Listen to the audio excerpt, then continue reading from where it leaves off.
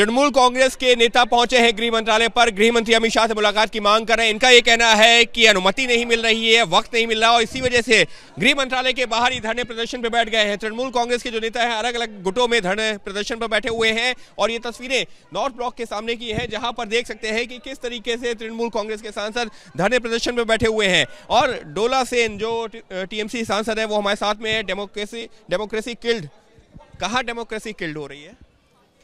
Constitutional जो rights है, मोदी जी, अमित शाह जी, पहले दिन से वो कीली कर रहा है। Democracy is killed over here constitution is killed over here total lawlessness है।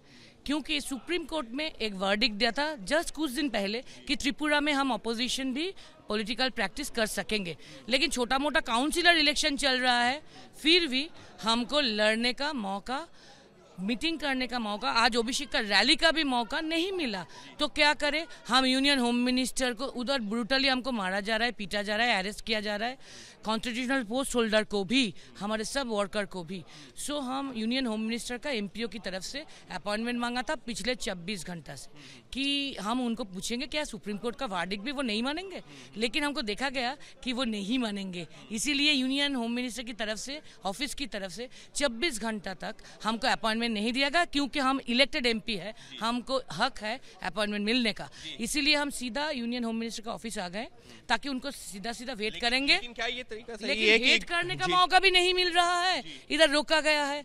तो क्या नॉर्थ ब्लॉक में union home minister South Block में प्राइम मिनिस्टर की ऑफ़िस में किसी एमपी का इलेक्टेड एमपी का जाने का हक नहीं है? इधर एमपी छोड़ के कोई नहीं है सिर्फ़ एमपी आया है इलेक्टेड एमपी क्या ये सही तरीका है कि नॉर्थ ब्लॉक के आगे आकर के इस तरीके से धरना प्रदर्शन दे दिया जाए? अगर वो नहीं रोकते तो हम धरना नहीं प्रदर्शन करते। हम तो जा रहे थे।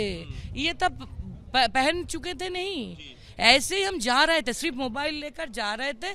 अमित शाह को भेंट करने के लिए कि 24 घंटा उनको मौका नहीं मिला अपॉइंटमेंट देने का ताकि हम 14 एमपी आ जाए तो कुछ बात हो जाए। तो कब तक ये जारी रहेगा? ये ये कब तक जारी रहेगा धरना प्रदर्शन? उनका कोर्ट पे है उन्होंने रुका। अगर वो रुक रुकाना छोड़ देगा हम अंदर जाएँगे बात करके चले जाएँगे।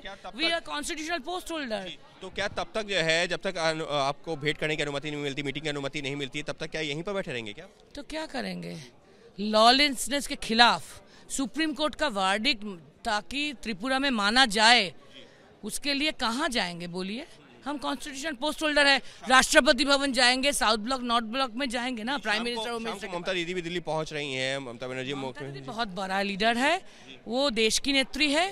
वो चीफ मिनिस्टर भी है। क्या उनके आने तक भी बैठे रहेंगे यहाँ पर? नहीं उनका प्रोग्राम के साथ हमारा कोई ताल्लुक नहीं। है वो उसका प्रोग्राम उनका ऑफ़िस तैयार करेंगे। वो हमारा पार्टी का लीडर है, लेकिन बहुत सीनियर लीडर है। हम पार्टी का छोटा मोटा एमपी है छोटा मोटा वर्कर है। हम अपॉइंटमेंट मांगा था, अपॉइंटमेंट नहीं मिला।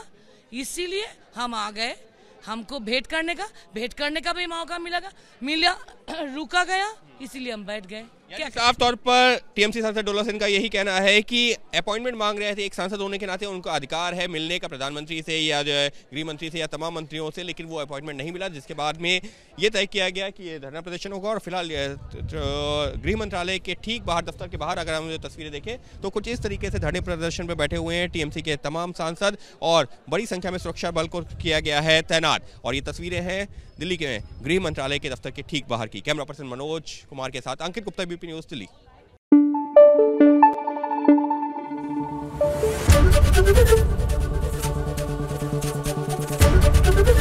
ABP news आपको रखे आगे।